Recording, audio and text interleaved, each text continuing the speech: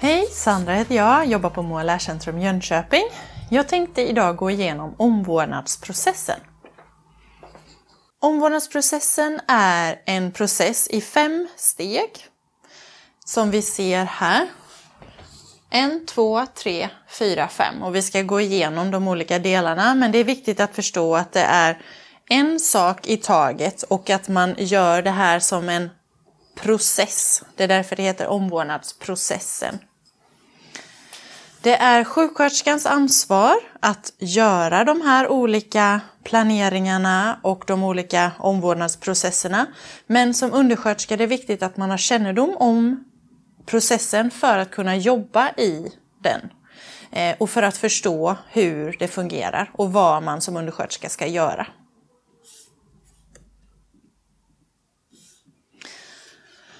Det här är de fem olika stegen i omvårdnadsprocessen. Bedömning, planering, mål, genomförande och utvärdering. Och jag ska gå igenom dem steg för steg, men kortfattat så förklarar jag dem eh, kortfattat här först. Bedömning, alltså vad är det för vårdtagare jag har framför mig? Vad har den för bekymmer? Vad kan den? Vad kan den inte? Har den något sår? Har den eh, viktnedgång? Eh, ja. Planering. Vad behöver jag göra utifrån de här bekymren som vårdtagaren har? Mål. Vilka mål sätter jag upp? Om personen har ett sår så måste ju målet vara att såret ska läka kanske. Genomförande. Den delen när man genomför det man har planerat, till exempel lägger om såret.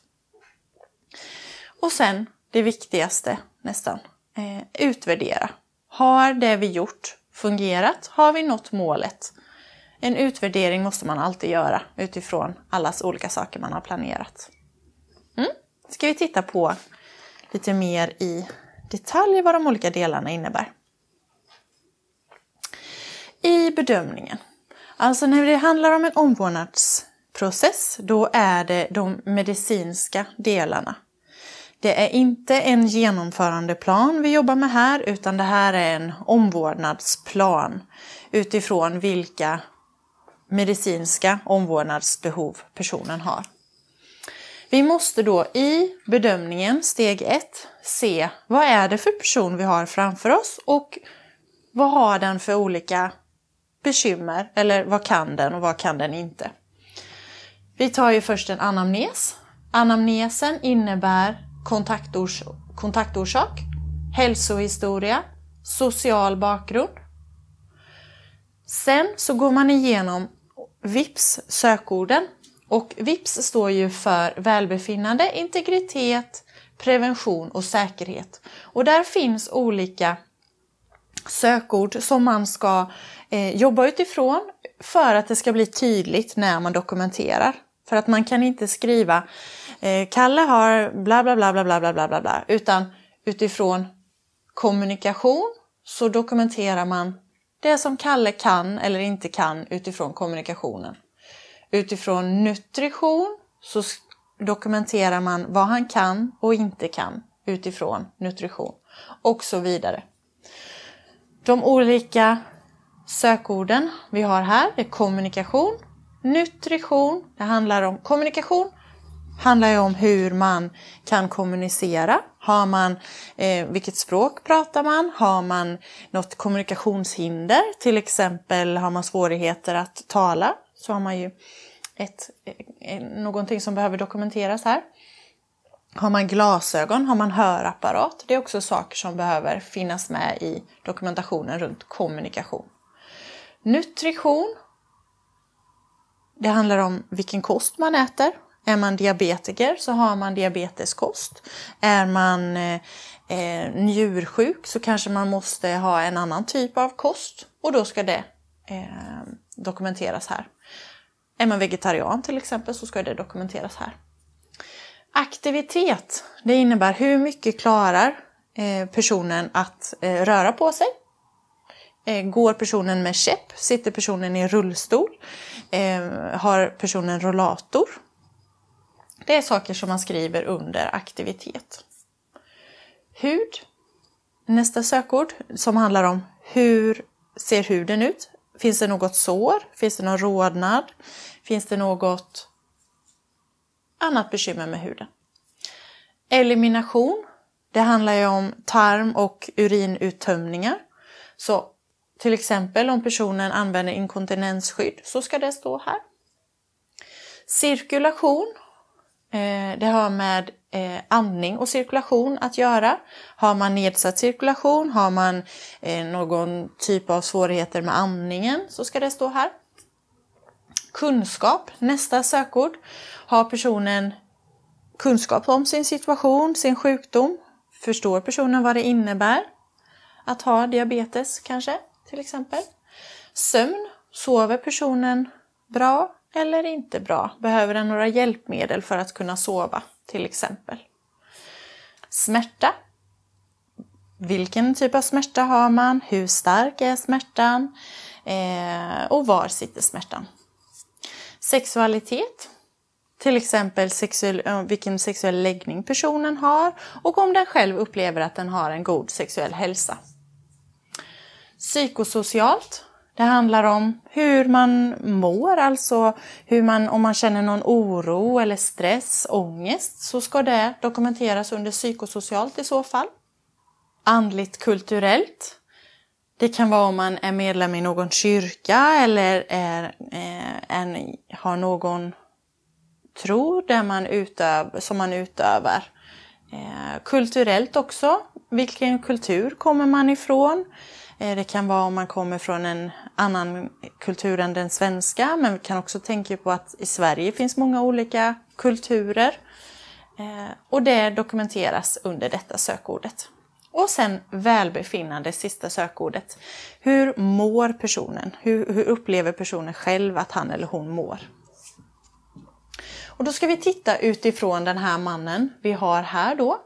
Eh, vi har en man som har kommit till ett äldreboende och sjuksköterskan gör här en bedömning på vilken typ av stöd och vilken typ av omvårdnad personen behöver.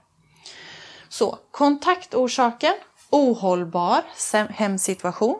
Personen klarar inte att bo hemma själv längre. Hälsohistoria, alltså vad har personen för sjukdomar sedan tidigare?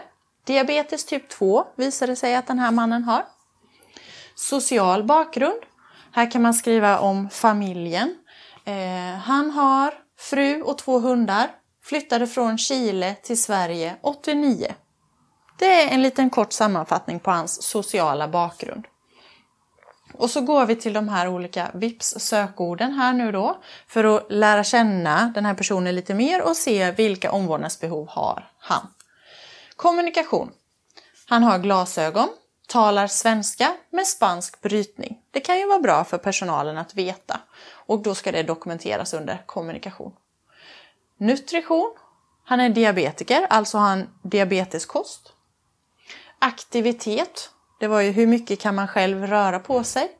Han kan sköta all ADL, allmän daglig livsföring, själv.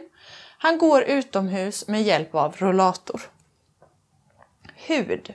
Han har ett diabetessår under vänster fot och här måste vi precisera hur stort det är.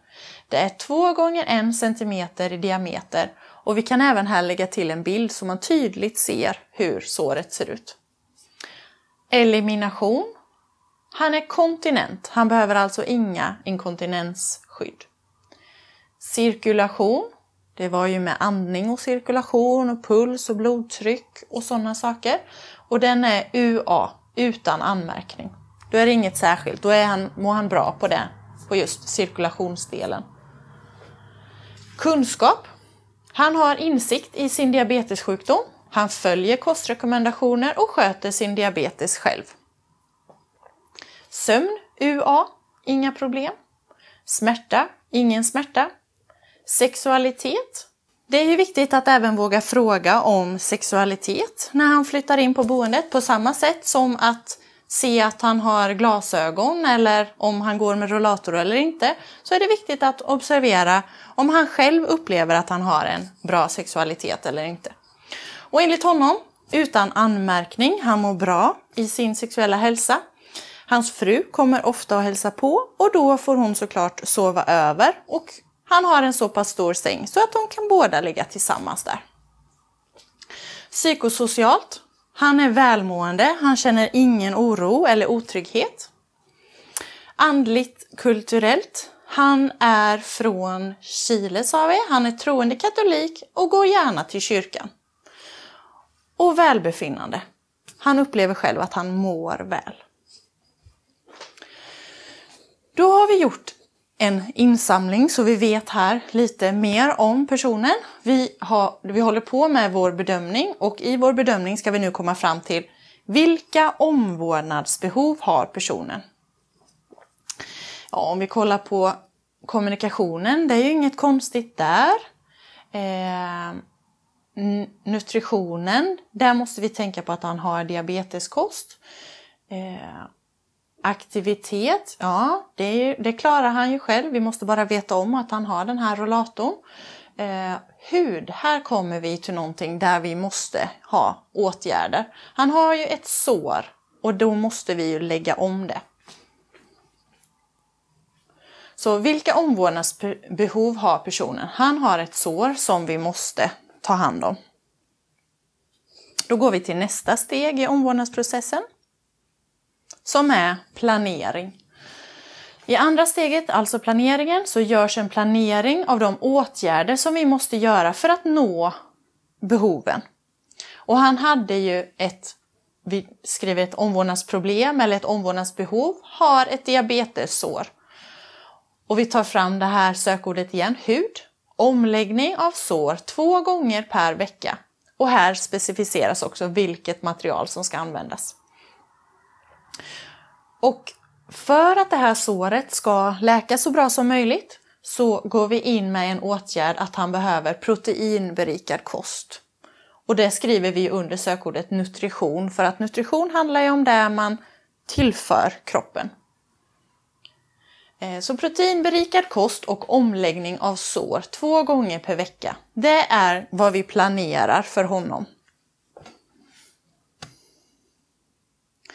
Vad har vi då för mål?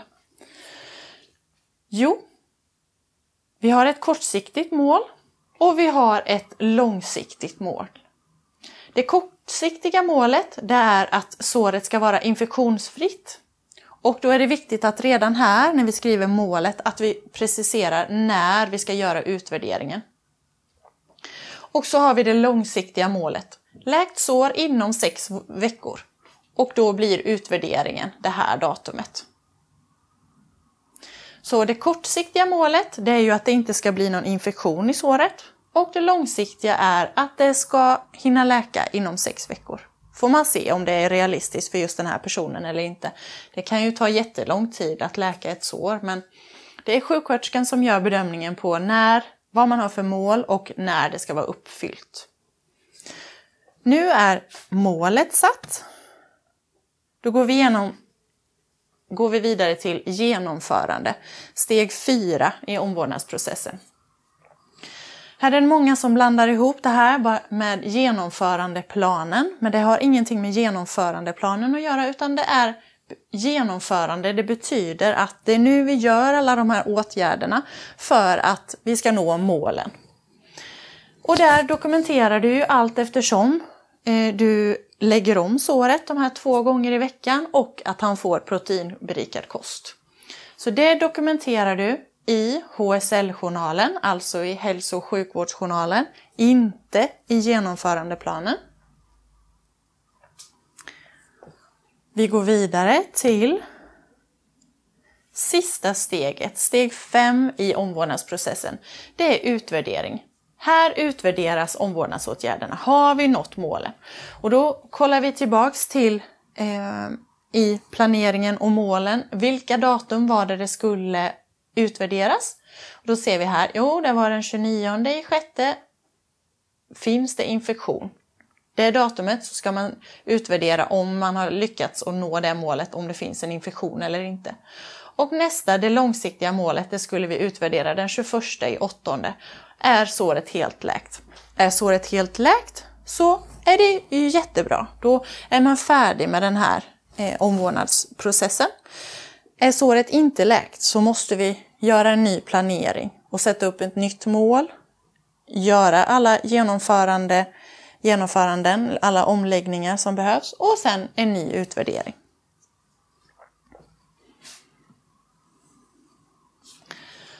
Det här var alltså de fem olika stegen i omvårdnadsprocessen. Bedömning. Vem är det vi har? Vilken person är det vi har? Vad har personen för bekymmer? Och vad klarar personen själv? Planering. Utifrån de eventuella behov personen har så måste man göra en planering. I det här fallet så behöver vi planera omläggning av sår. Mål. Vilka mål ska vi nå? Det var ju det här med att såret skulle vara läkt inom en viss tid och att det inte ska vara någon infektion i såret. Steg 4, genomförandet. Det är när vi genomför de olika omläggningarna och dokumenterar det allt eftersom vi gör dem. Och sen utvärdering. Har vi nått, nått målen eller inte?